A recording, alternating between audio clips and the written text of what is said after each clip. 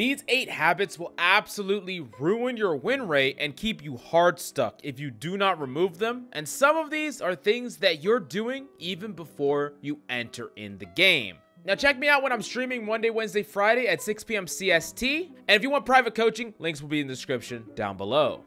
Now the first tip is going to be one that might be a bit controversial, but it's important and it's to cut out that toxic duo, at least playing with them on your main. Now, I understand that a lot of you are playing with buddies that you know in real life, and that's all well and good, but especially if you're getting past the point where you're playing Overwatch just casually and you want to take it seriously, but you have those players that you play with that are either really toxic, always bring you down, maybe insult your gameplay, or they just don't care about improvement. Well, I definitely think you can play with these players in quick play or maybe on an alt account. If you're really trying to climb your main, don't play with these players when you're trying your best. It's not only going to stain the experience for you, but it could be the biggest reason why you're not climbing because half of your partnership is not really putting in the same effort that you are. And uh, yeah, it's going to just give you a really bad experience over time. And the last thing that you want to do is start to resent your friend because you're trying and they're not or you're improving and they're not. Definitely better ways to go about it where you could still play with your friend on the side and then grind your main. And if you're looking for a competitive duo partner, go check out the Discord. Links will be in the description down below. Now, the next big mistake that you're making is playing way past your prime. And no, I'm not talking about 27 years old. I'm talking about your prime peak play. And this is typically where you're really tired, or you're hungry, or you've been playing far past the point where you can mentally super focus in on the game. Oftentimes, after you have played substantial amounts, it's time to take a little bit of a break. Take yourself a refresh. Don't keep grinding. And the biggest reason that this happens is because you're sitting at six wins. You want that reset. And what do you do? You play again, you lose. And now you're a little tilted and you're more tired, so you play again, and guess what? You lose again. And uh, eventually, you're to be the one or the reason that you're losing because you're so tired, you're getting more tilted, and you should have stopped freaking five games ago. Don't let it happen to you. It's okay to end on six wins. Just wake up fresh the next morning and win that seventh win, baby. It's not a big deal. And uh, yeah, it's to make your experience a lot better. Next up, we do got to talk about comparing your stats in game. And this comes from a lot of different areas. You're either comparing your stats to your teammates, the opponent's team, comparing your team stats to the opponent's team stats, or you're just randomly talking about your damage or heal per 10.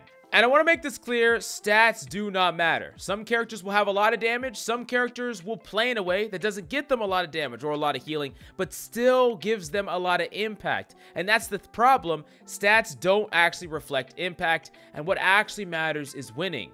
And I feel like I've been saying this a lot, but you would be surprised how many people come to me and say, I can't believe I'm losing. I do X damage per 10 or I do X heals per 10 and I still lose. I'm telling you, it does not matter. And you're only tilting yourself, setting yourself up for failure, and perpetuating wrongful ideas about the game if you continue to believe it does.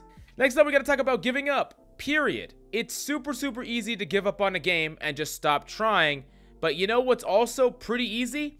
Making a comeback. Sometimes a team will be losing, losing, losing because of momentum. Maybe they lost that first fight and then they lost because of an ultimate. Or maybe in the first or second fight, the enemy team was playing a counter of theirs. But then with one swap, one single swap or one single communication or one single playstyle change, all of a sudden, a game that you were getting stomped in, lost, the push was all the way to your spawn, you turn it around. It's happened to you. It's happened to everyone. We've had these games where we turned it around. So why do we give up so easily? Why does our mental fall short when things start going wrong? And I'll tell you what, I recently VOD reviewed one of the best players I VOD reviewed. An insanely good player, understood the game, had great mechanical skill, but the second the opponent went something that they've lost to a lot in the past, or the second they've lost a team fight, their mental was shot. They were gone. This is what always happens. We always lose. This is why I can't ever win. This is the type of things they were saying. And the thing is, if they just had their mental on point, I knew for a fact they would be in a much higher rank. But this is so important to get right because if you let your mental go, then you're giving up so many wins that you need to power through. You need to have the iron hard mental because at the end of the day, comp is not just a battle of skill, it's a battle of mental. And if you give up when the opponents aren't, they're going to win games that you will not. Next up, we got to talk about trying to ego the enemy for no reason. A lot of people want to turn this into a 1v1. And if you die to an enemy DPS, or you get killed as a Lucio by the other enemy Lucio, everyone wants to get revenge, right? You want to get revenge on your enemy. And I understand that you want to prove that you're better, or you want to diff the enemy team. But uh, there are many times where the enemy tries to coax you in, tries to get you into that 1v1 mentality, and then you waste your entire time doing something that isn't actually contributing to the win, and then you're left feeling kind of silly when the enemy actually beats you, and uh, they're gonna talk trash, and there's nothing you can do about it. The best revenge is winning the damn game. If they want to go and just have these weird duels and weird 1v1s or whatever the case may be, just steal their elo and force them to play the game like a real human being. Now, the next thing that we need to talk about, and something that just completely destroys players' win rates at every rank, is holding on to their ultimate when they intend to swap. You're getting countered really hard, and you just aren't comfortable with what you're on, so you hold on to your ultimate and you're like, hey, I almost have ultimate or I have ultimate. I want to get some use out of it. The enemy team invests ults. You don't use your ult. You don't get an opportunity and then you die. And then guess what? You're walking out of spawn again as the same character. And maybe you don't find a great scenario again. So you die and then you go back out on the same character. And when you finally get it off, guess what? It didn't even win the team fight. And then you finally swap. But what was that? Three fights later and one ult later? Now, I'm not saying to always swap if you have a really impactful ultimate. Well, what I am saying is it has to make sense. The ultimate has to have a chance to actually sway the team fight. You need to have a good understanding of what ultimates your team has versus the enemy. How important is it that you try to win the next team fight, or do you have another time before they reach the next objective?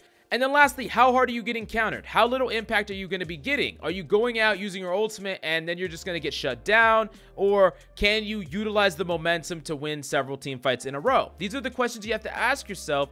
And most of the time, the correct answer is just going to be to swap. So stop overvaluing saving your ultimate, take that 30% and go out on the character that you actually feel confident in playing.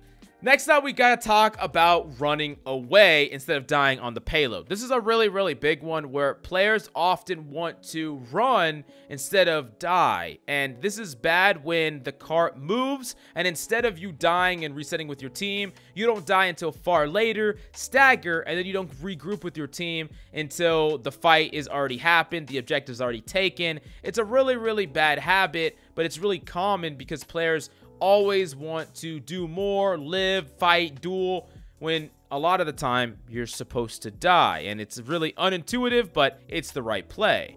Now, last but certainly not least, this is about touching an objective when it's about to be capped and what your job is. So sometimes it's your job to swap to touch, and sometimes it's not. So let's say the cart is about to capture the third point, right? On King's Row.